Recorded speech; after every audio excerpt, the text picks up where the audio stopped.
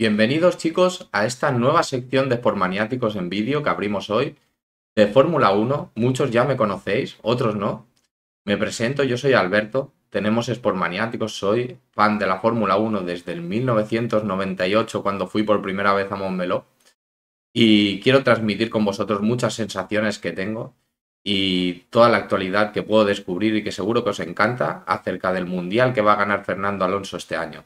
Y sí, lo decimos, el mundial que va a ganar Fernando Alonso. Y no lo decimos ahora, lo decimos hace mucho tiempo, después de los test de pretemporada y antes. Tengo pruebas y no me hace falta sacarla porque muchos ya me conocéis, ¿vale?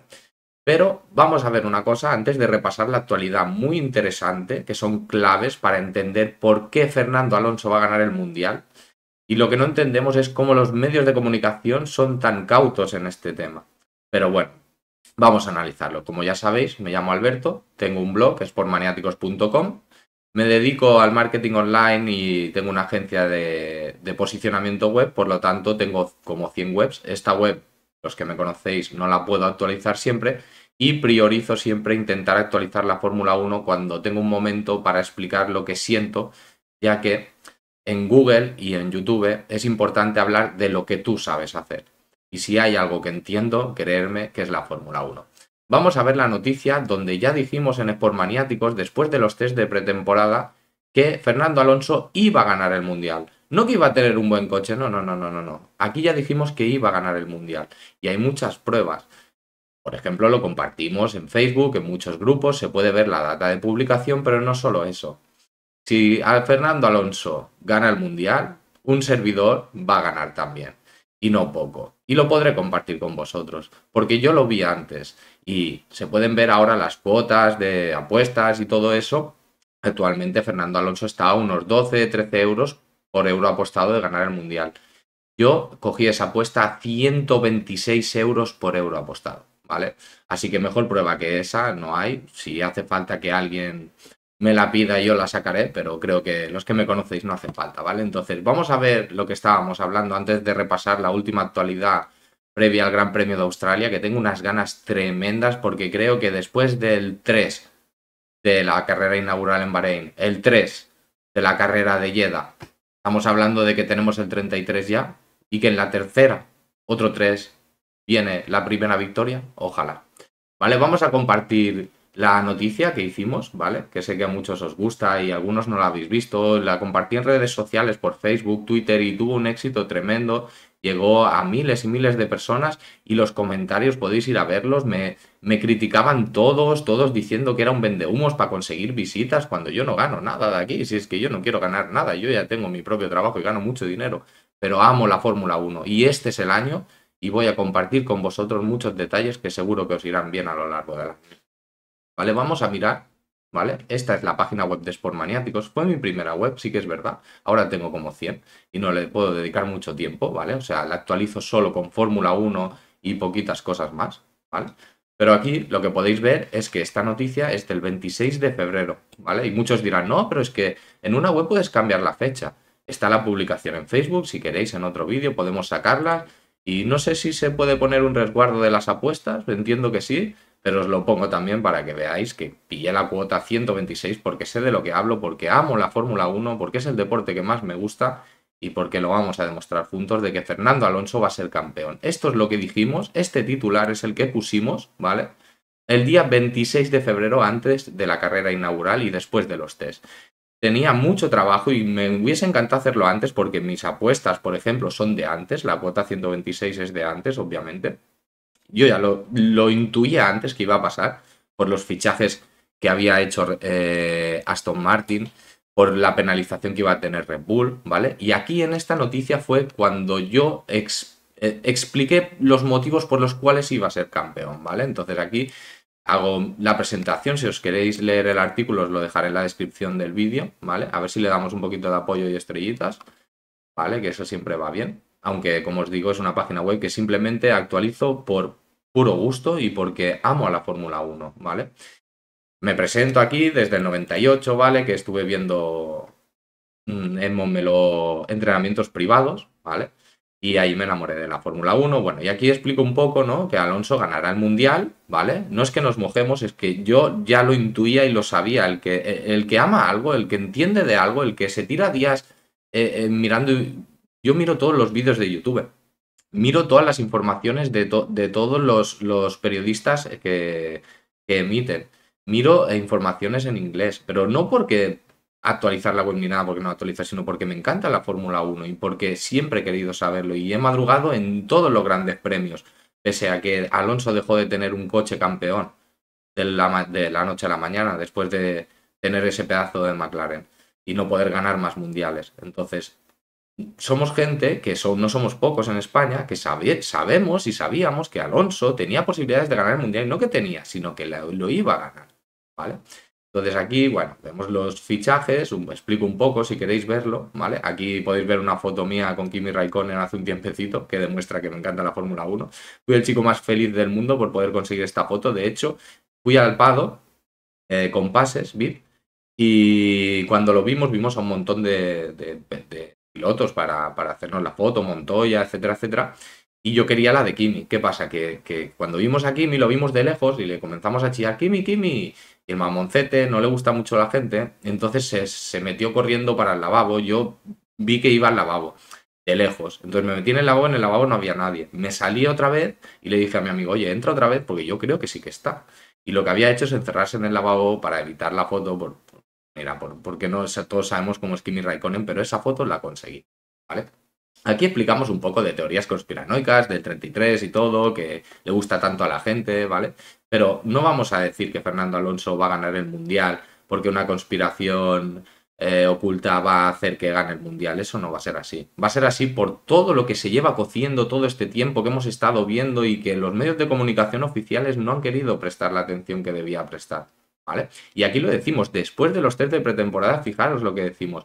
Fernando no ha querido exprimir el coche en ningún momento, ha quedado lejos a una vuelta, pero recordamos que hizo pocos intentos con el neumático rojo, ¿vale? Ritmo de carrera, Sí que es verdad que después de ver el ritmo en pretemporada parecía que en las carreras inaugurales ya podía estar luchando de tú a tú a Red eso es lo que yo me esperaba. De hecho, la primera carrera me llevé un pequeño chasco, pero sí que es verdad que la temporada es larga y eso lo comentaremos luego porque es una clave que tengo para vosotros, ¿vale? Para entender por qué Alonso va a ser campeón. Pero no va a ser tan fácil como, como, como por ejemplo yo pensaba. Yo incluso pensaba que iba a ser un coche más dominador, ¿vale? tengo que decirlo, lo que, lo, que acerté, lo acerté y lo que, y lo que no acerté, no acerté, que, es normal, ¿vale? Porque nadie sabe lo que va a pasar. Ferrari sí degrada y mucho. Ver a Ferrari por delante de Aston Martin en la primera carrera del año en Bahrein parece imposible viendo esa degradación. Fijaros lo que decíamos aquí.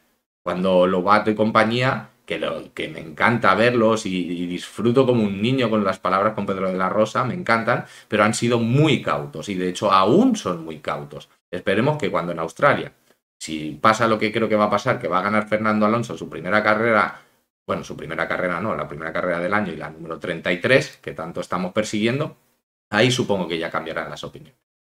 Mercedes no va bien, ¿vale? Ya se veía en pretemporada. No, no había que esperar a la clasificación a que todos pusieran el motor. Hay cosas que, que si llevas mucho tiempo viendo Fórmula 1 ya las sabes. Pero no solo por eso, sino por las noticias fuera del pado, los fichajes, toda la evolución que van teniendo, porque si tú miras noticias en inglés, en español, ves más puntos de vista, no solo los que te muestran los periodistas de España a tu país, porque en España te mostrarán una cosa, en Italia mostrarán otra cosa, y entonces tú tienes que saber buscar la información. Si te gusta algo, si tienes pasión por algo, si, si, si, si no te gusta la Fórmula 1 solo para verlo, pues obviamente no, no es un friki como yo y no vas a hacer esto. Alonso es mágico, ¿vale? Esto es una clave, esto es una clave que nadie tiene en cuenta. Por favor, por el amor de Dios. A mí cuando me viene alguien y me dice, no, mira, es que Fernando Alonso ya está viejo el año pasado, por eso ya no hace podios y ya no gana, es normal. Por el amor de Dios, pero de... Mm, si algo no tenéis que hacer en la vida es hablar sin conocimiento, ¿vale? Porque gente que como yo se puede reír, porque sabemos que Alonso ha estado entre los tres mejores de la parrilla desde que comenzó en el Mundial de la Fórmula 1 o incluso algún año más, porque Minardi se, adaptó, pero ya hacía muy, muy buenas eh, carreras y demostraciones, por eso le fichó, le fichó Renault, posteriormente Ferrari, etc. ¿vale? Entonces, Alonso es mágico, una variable que la gente parece que está olvidando. Y yo me río por dentro solo de pensarlo. Todos estos años que Alonso no ha tenido la suerte que otorga el poder del 33 para poder ganar el Mundial, ha demostrado que está mucho paso por encima de sus rivales. Y esto se ve. Pero ¿qué pasa? Que si está en la zona media luchando, no sabemos interpretar que Alonso tiene mejor ritmo de carrera que su compañero. Si Renault favorece a Ocon, no sé por qué, no sabemos ver eso. Entonces, claro, Entender de Alonso, sí que es verdad que yo tuve el privilegio de poder vivir su primer mundial ya habiendo visto Fórmula 1 y duelos entre Hakkinen y Schumacher, ¿vale? O sea, yo ya sabía lo que era la Fórmula 1 y cuando llegó Alonso, la gente alucinó pero Alonso nunca ha dejado de ser Alonso. Y eso es lo más importante. Que Alonso no necesita ni un coche ganador. Mirad las temporadas de 2012, si no recuerdo mal, o 2010, que llegó a las últimas carreras del año con posibilidades de ganar el Mundial. Recordad aquella carrera en Brasil que, que Vettel se dio la vuelta y, que, madre mía, qué, errores hacía. Y que, y que Fernando Alonso con un Ferrari muy inferior le pudo luchar de tú a tú el Mundial. Por eso mismo, este es un dato básico para entender que Fernando Alonso va a ganar este mundial.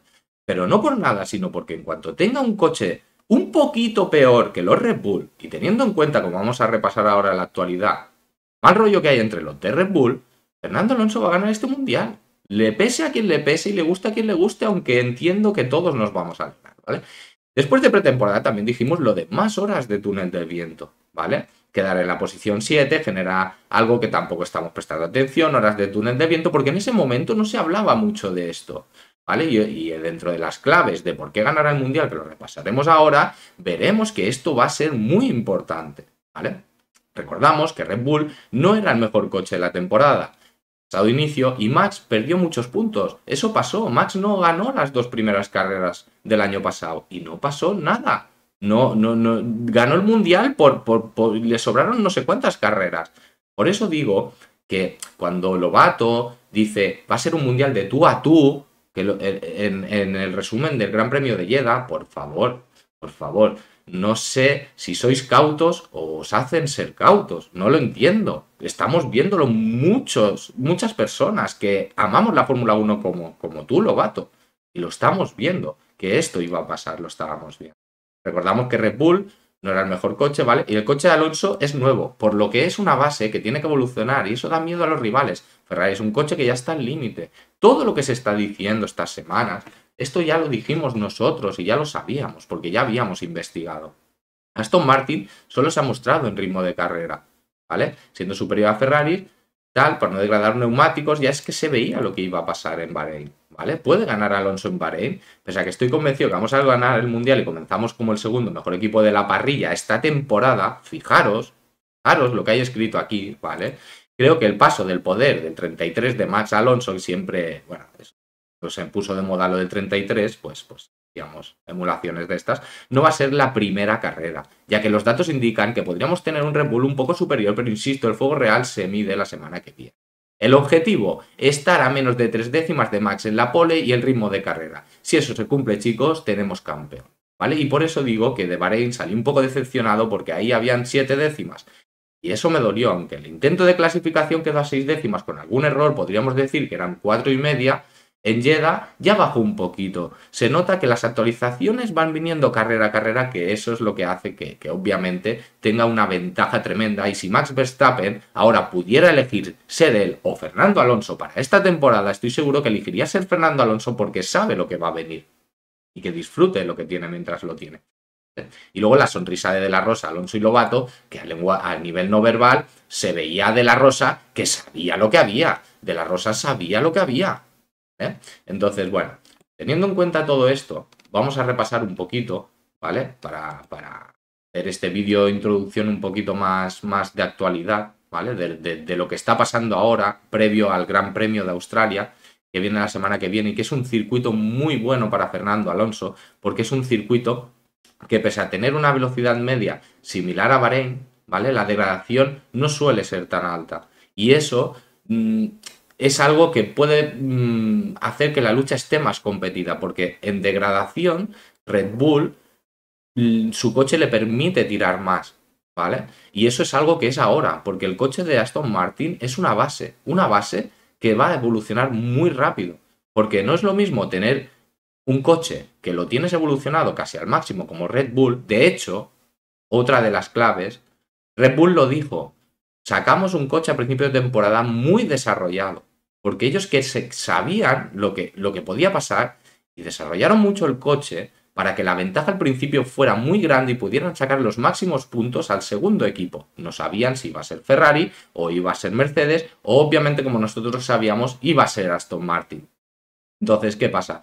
Que toda esta, esta diferencia que saquen en puntos va a ser muy positiva. Pero aquí vamos a una de las claves de actualidad que no se está hablando, y es que son 23 carreras, ¿vale? 23 carreras. Ahora imaginaros un mundial donde en la mitad de carreras el Red Bull es el mejor coche y en la otra mitad de carreras el Aston Martin es el mejor coche. Por eso os digo, no tengáis prisa ninguna. Y no podéis decirlo, vato, por favor, por el amor de Dios. No me puedes decir va a ser un duelo de dos con 23 carreras y la progresión que ha hecho Aston Martin en una sola carrera. Es decir, ha estado más cerca en Jeddah, que es el peor circuito para Aston Martin, de lo que estuvo en Bahrein.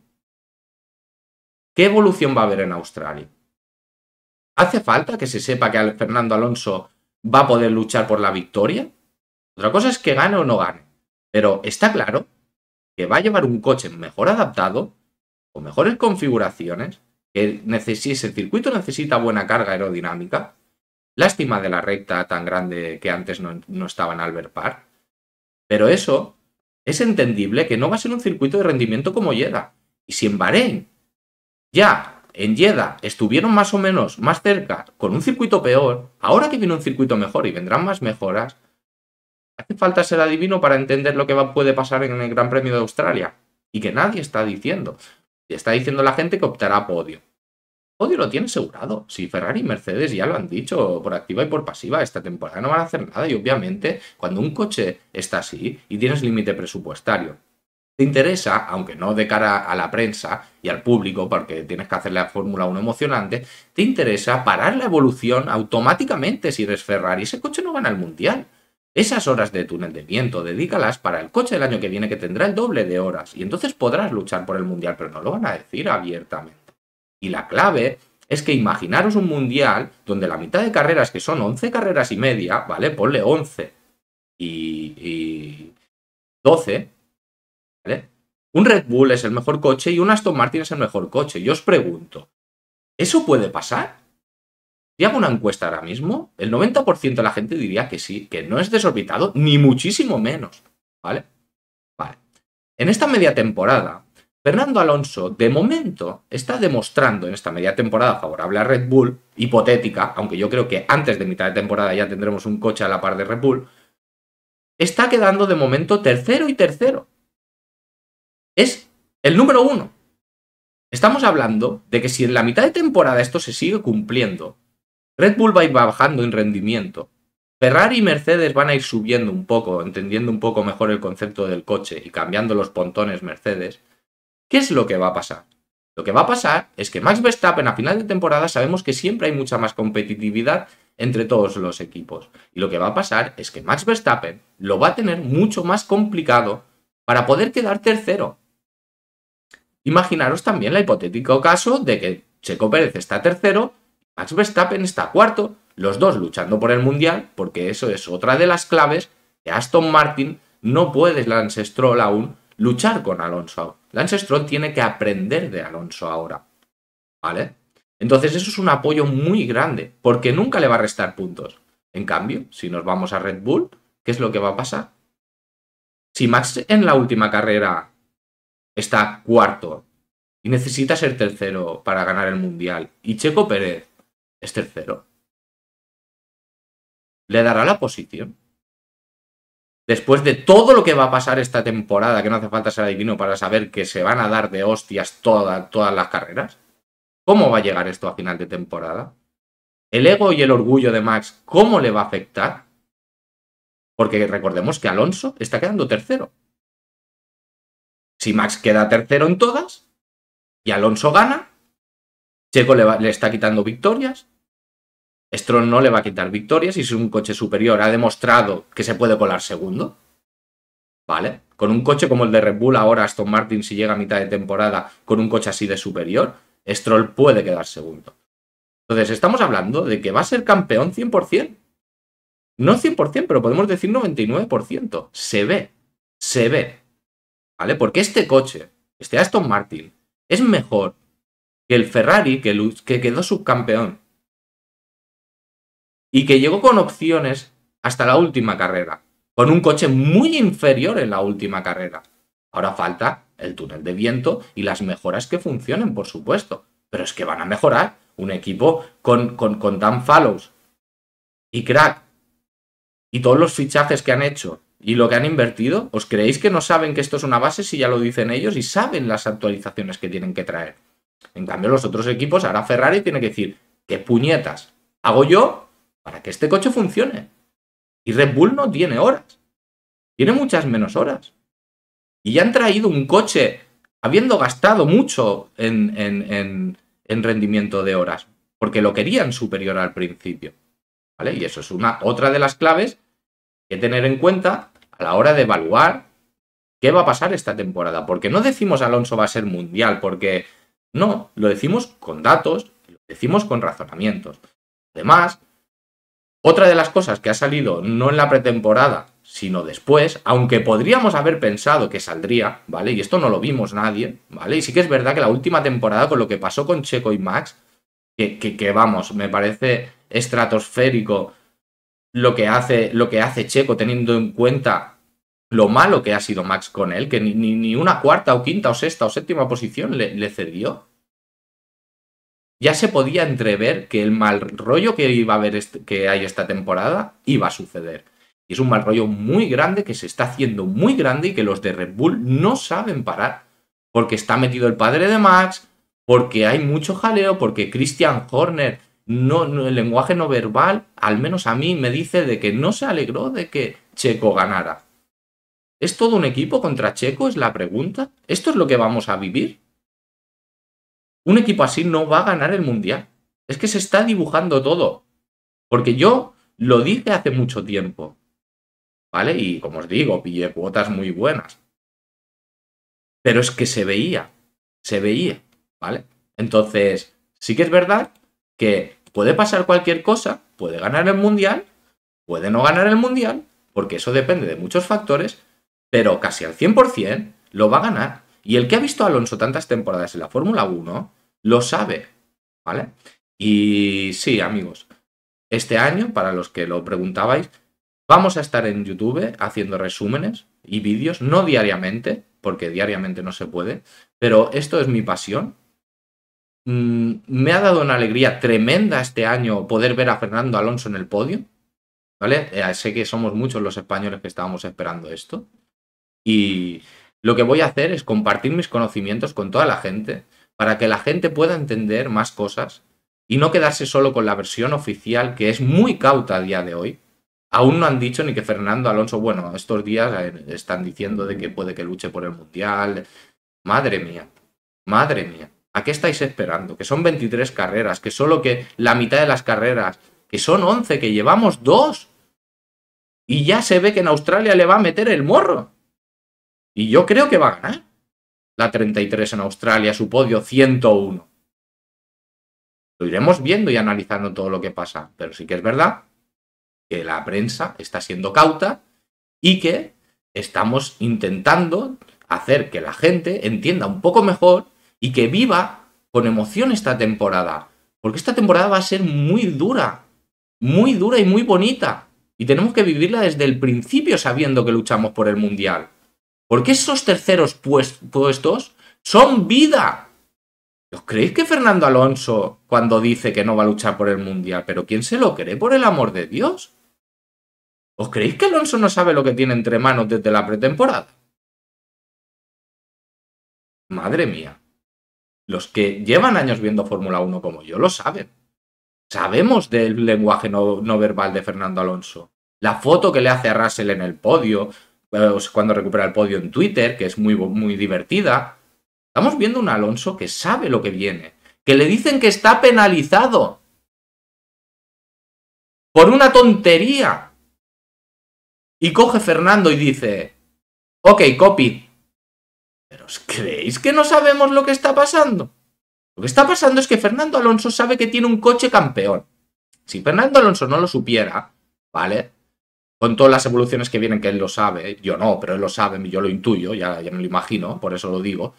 ¿Os creéis que Fernando Alonso, si este año no pudiera luchar por el Mundial o él no supiera que iba a poder luchar por el Mundial, iba a decir, ok, copy? El año pasado que no luchaba por el Mundial decía, ok, copy? ¿Creéis que lo haría?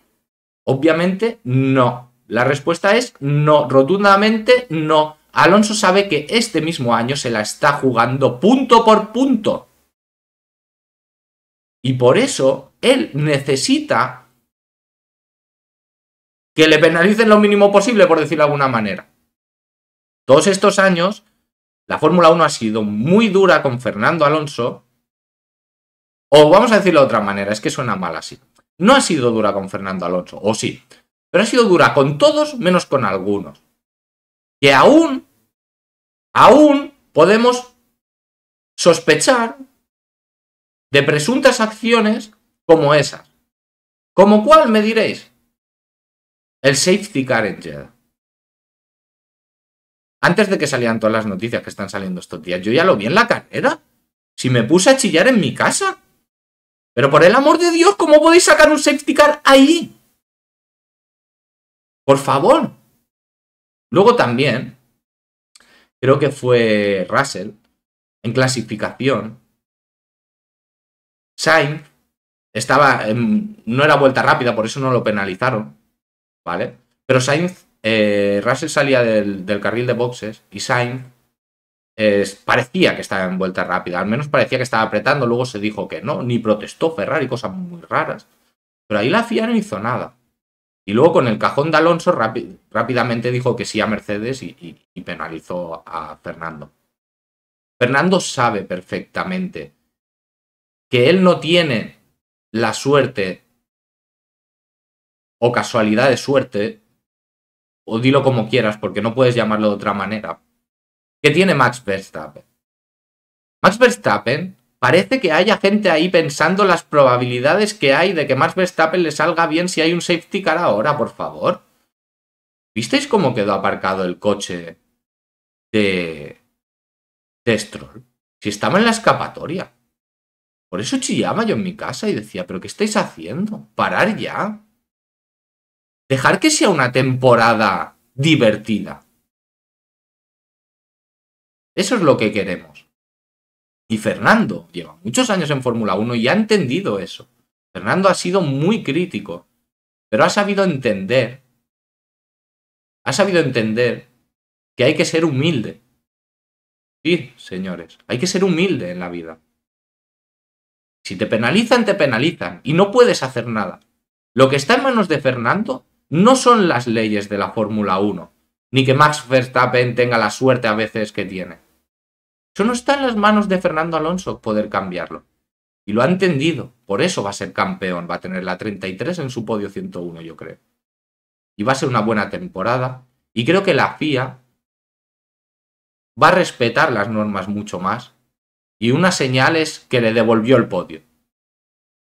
Y estoy seguro que una milésima de pensamiento, pero una milésima fue pensar por parte de la FIA el ok copy. La aceptación de Fernando de lo que le estaba pasando. Que yo no decido eso, es lo que dijo Fernando con ese OK copy tan tranquilo. Que si es así, es porque alguien ha decidido que tiene que ser así y, y es verdad. Y luego no lo fue. Pero Fernando sabe dónde tiene que ir a parar. Y luego aparte, la lucha de Checo, de Max y todo lo que está viniendo ahí en Red Bull es un terremoto que no sabemos cómo va a acabar. Pero bien, no va a acabar.